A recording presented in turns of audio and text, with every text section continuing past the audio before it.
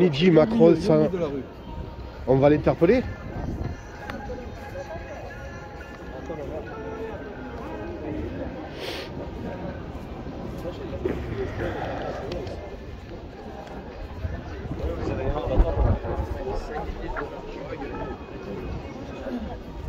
Pardon. Pardon. Pas grave.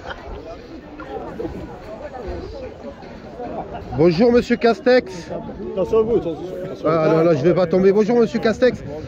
Juste pour savoir, vous n'avez pas un droit de réserve normalement euh Si, absolument. Voilà. Absolument. Non, parce que la dernière fois, on vous a vu avec des tracts. euh, Alors, je Alors, sais Est-ce pas que un petit vous peu. voulez, si puisque vous me posez la question, que je vous dise ce- en quoi consiste, d'après la loi, le devoir de réserve, qui est d'ailleurs un devoir normal. hein. Oui, je veux bien. oui. Alors le devoir de réserve, il m'interdit, quand je me déplace, comme ici à Carpentras, d'utiliser les moyens de l'État. Oui. Donc il y a zéro et j'y veille scrupuleusement. Mhm. C'est normal. La et la deuxième chose, je ne peux pas, quand je m'exprime publiquement, faire des annonces, dire euh, le gouvernement euh, va faire ceci, le gouvernement va faire cela. Je n'en ai pas le droit. Par contre, de merci, je suis comme vous, un citoyen qui peut dire, euh, ben voilà, mes idées c'est ça, le programme d'un candidat c'est ça. Voilà. Mais comme vous pouvez le faire vous, monsieur. Ok, non, je Voilà. pose la question parce que moi, Mais ça non, me posait la question légitime. par rapport à la Elle police, tout ça. Et je voulais savoir si vous êtes venu en TGV ou en jet. En TGV. Ah, monsieur. ça, voilà. C'est pour savoir un petit TGV, peu. J'avais besoin de savoir un petit peu. euh, Mais si vous me connaissiez, ce qui n'est pas le cas, hein, mais j'adore le train. Voilà. Ok, mais moi aussi, j'adore le train. Ça tombe très bien. Et qui a rouvert le, la- le train couchette euh, Paris-Nice C'est- vous C'est moi. Qui Ah a ben- rouvert le train des primeurs Oui, mais. Rungis-Perpignan, qui avait été Je ne fermé dis pas le, le contraire, c'est très bien. Il y a des choses sûrement qui sont très bien. Après, il y en a beaucoup qui sont moins bien par rapport à tout ce qui s'est passé depuis le début du quinquennat vous, de habitez, Macron. vous habitez, vous, ici Oui, tout à fait. ouais. D'accord. Voilà. Mais euh, non, il y a pas mal de choses qui sont euh, qui, ont été euh, disproportionnées avec le gouvernement. Nous, en fait, on, milite pas mal pour une vraie démocratie, c'est-à-dire pour qu'on ne soit plus des spectateurs et qu'on devienne un petit peu des acteurs de la vie politique. On aimerait être un petit peu sondés et on en a marre un petit peu que ce soit toujours les mêmes qui décident pour les citoyens. On aimerait un peu plus de référendum, on aimerait être entendu. Et là, c'est vrai que depuis depuis le début du quinquennat de Macron, on n'est plus entendu. Voilà, on voit bien ce qui s'est passé avec les pompiers, avec euh, les, les gilets jaunes, avec les soignants. Enfin, c'est plus possible, monsieur. On est, le- on est le pays des droits de l'homme, le pays des libertés. C'est euh, là, il faut. euh, là, là, là, là, c'est plus possible. Donc, moi, monsieur Macron, au début, je me suis dit, c'est peut-être intéressant, qu'il, mais là, ça sera sans nous. C'est sans nous maintenant. C'est plus possible. Là, il faut qu'on retrouve le. Vous euh, voyez que je, je viens sans arrêt sur le terrain. mais moi, c'est la première fois que je vous vois à Carpentras. Ah, ben, J'aurais aimé vous rencontrer. J'aurais aimé vous rencontrer. Tenez, regardez, je peux sortir quelque chose de. Ça me faire peut-être. euh, je- 350 déplacements j'ai fait, monsieur, en Voilà. France. Regardez. Voilà. Hop, le vrai débat. Ah, vous voulez Voilà. un peu de lecture Eh ben, je vais Eh vous l'offrir. Je vais vous l'offrir pour que vous le regardiez.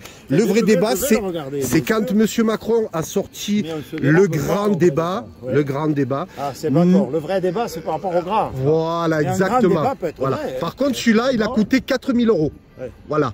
On a pris la même plateforme que M. Macron, exactement la, la même plateforme. Après, il y a eu beaucoup de personnes qui se sont, on va dire, investies hein, euh, euh, gracieusement. Mais enfin, voilà, 4000 euros.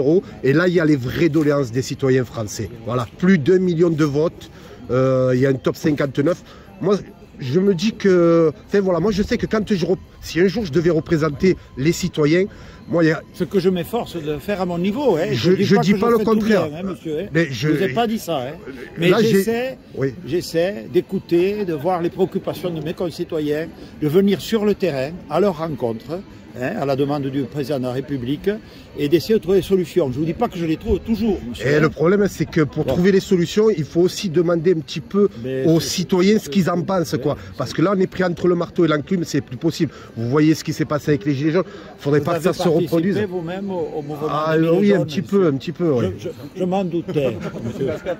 Je m'en Une petite doutais un question, peu. s'il vous plaît. Je m'en doutais. Une petite question. Je vais la dernière parce qu'on Oui, après, là-bas, je- je vous en prie. Dites-moi, pour la hausse d'essence, tout ça, on ne peut plus aller travailler. C'est quoi ce, ce truc Il n'y a pas une binge quelque part là Et, eh ben, vous savez d'où il vient le BINS, monsieur, comme vous dites. Le, ben, le BINS, euh, c'est les prix du pétrole, ils sont fixés au niveau mondial. Mais arrêtez, arrêtez. Ah, non, mais je- je- Après, il y a beaucoup de taxes, monsieur. Si vous me laissez finir. Allez-y, juste, juste, juste. Ah, je juste. vous prie. Et vous savez très bien qu'est-ce qui provoque depuis quelques semaines la hausse considérable des prix Oh, du la- pétrole. La guerre. Eh ben oui. Mais est-ce Oui. que c'est vrai? Ah, Après, s'ils veulent faire un vrai effort, monsieur, un vrai effort. Vous le savez vous-même un peu que c'est vrai. Hein. Bon, vous, Oui, voulez- vous a le toujours- foutre sur le Non, dos, mais vous toujours- vous n'êtes même pas vous-même Il y a Mais convaincu. non, mais elle a 60% de taxes.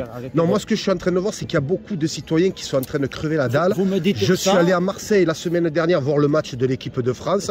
Quand je suis arrivé là-bas, j'ai été vachement très étonné. Il y avait des citoyens qui faisaient les poubelles. Oui. On en est encore là. Monsieur Macron, il avait dit en 2017, il n'y aura plus de SDF dans les rues. Allez à Avignon, allez à Carpentras, allez à Marseille. Les gens, ils vivent dehors.